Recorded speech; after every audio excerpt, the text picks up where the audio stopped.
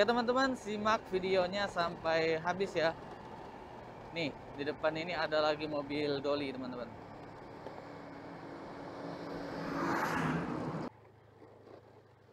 Kita ngambil ke arah kiri ya teman-teman. Kalau kanan itu tembus ke jembatan kilometer 10. Akan tetapi motor sebenarnya nggak boleh lewat sini teman-teman, harus mobil. Akan tetapi diberi keringanan bagi warga sini boleh kalau motor. Tapi kalau arah ke kilometer 10 itu nggak boleh teman-teman. Tuh, jadi itu namanya mobil Dolly teman-teman. Kalau orang sini nyebutnya itu mobil Dolly. Kalau di Mahakam Samarinda.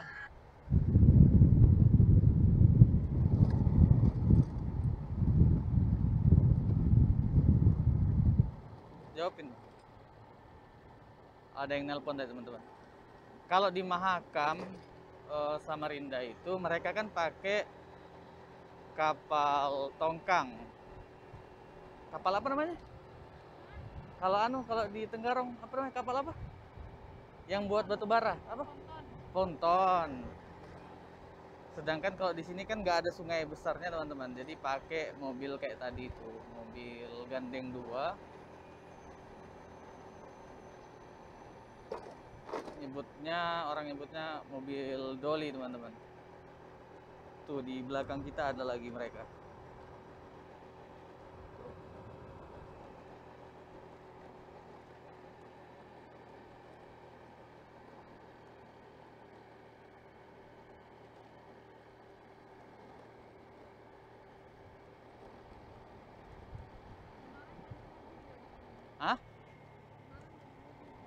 Iya.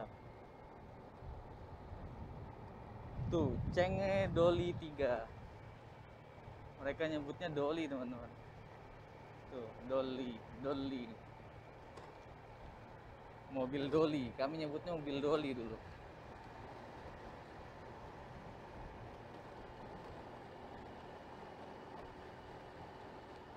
Ini jalur hauling ya, teman-teman kalau misalnya di Mahakam itu jalur ponton, pakai ponton, sedangkan di Kota Bontang ini ngangkut batu bara ke lautnya itu menggunakan mobil doli tadi lewat jalur darat seperti ini kawan-kawan.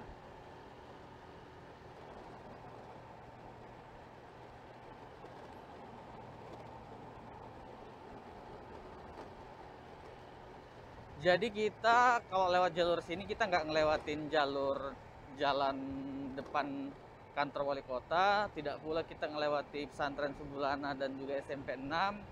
Kita nggak ngelewatin kompeyor yang di ujung sana yang di Santan itu kita nggak ngelewati teman-teman. Ini jalur alternatif lain bagi teman-teman yang ingin menjelajahi, ingin melewati, mencoba melewati jalur hauling ini teman-teman ini kita tembusnya nanti ke Santan Tengah teman-teman.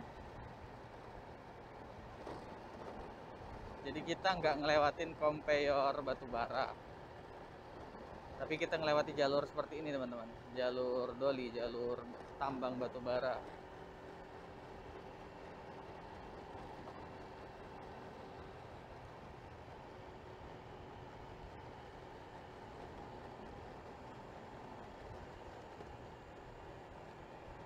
Nih, ini kalau ke sebelah kiri tembus ke SMP 6 dan juga Sebulana, teman-teman. Sebelah kiri ini. Tembus ke bawahnya Puskesmas kalau dari arah Bontang.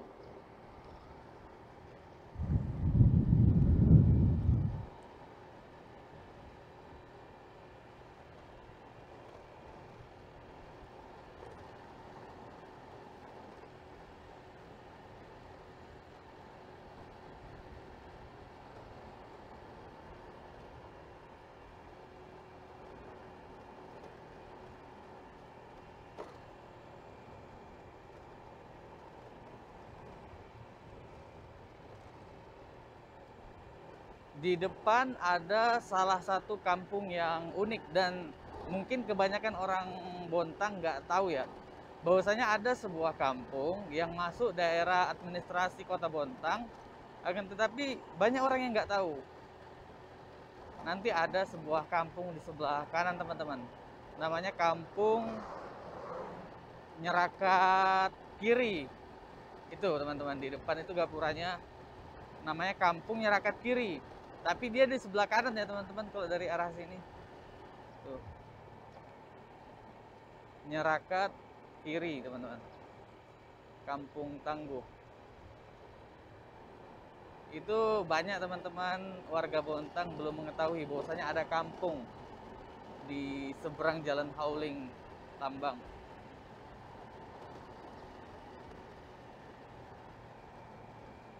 Oke teman-teman simak videonya sampai habis ya. Nih di depan ini ada lagi mobil doli teman-teman. Itu angkutannya kosong ya teman-teman. Kalau dari arah sana arah ke sana tuh pelabuhan.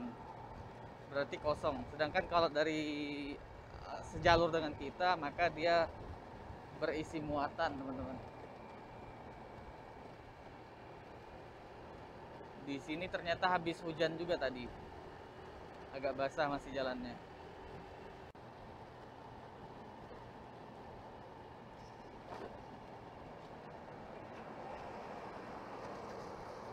Sudah ngerekam? Sudah ngerekam? Sudah.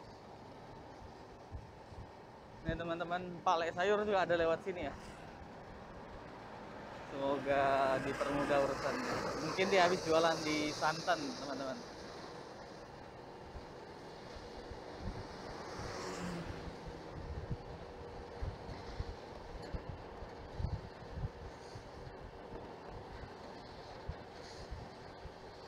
Walaupun menurut aturan nggak boleh naik motor di sini teman-teman. Tapi ya itu karena mau nggak mau di sini ada perkampungan juga di balik jalan Hauling ini ya tetap ada yang naik motor gitu loh.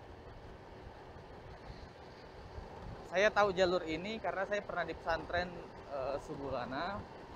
Jadi kami ke sini nyari makanan kambing teman-teman. Nyari daun gamal namanya. Jadi saya tahu jalur ini dari pas masa-masa di pesantren itu teman-teman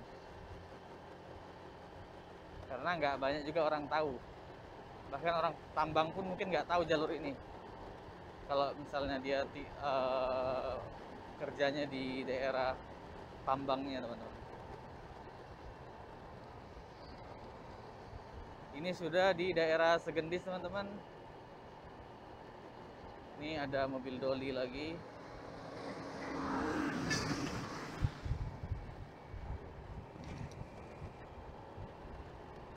jadi kok sudah daerah Segendis ini teman-teman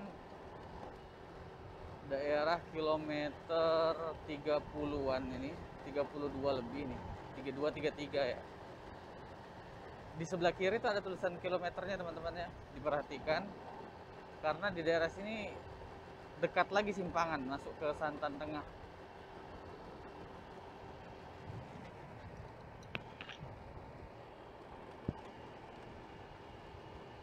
Teman-teman. Di sini kita ngambil ke kanan teman-teman. Ya simpangan ini masuk ke santan tengah teman-teman. Duh baru dipasang nih. Nggak lihat